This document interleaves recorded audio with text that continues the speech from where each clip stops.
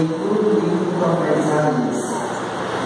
No tempo passado, o Senhor criou a terra de Zabulon e a terra de Mercado, mas recentemente cobriu de glória no mar o caminho do mar, do além Jordão e da Galileia das Nações.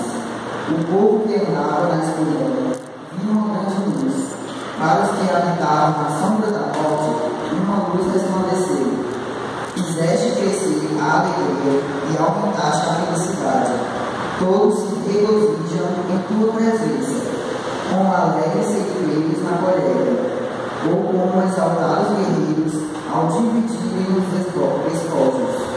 Pois o jugo que oprimiu o povo, a carne sobre os ombros, o orgulho dos fiscais, tu abateste como, como na jornada de Madiana. Palavra do Senhor.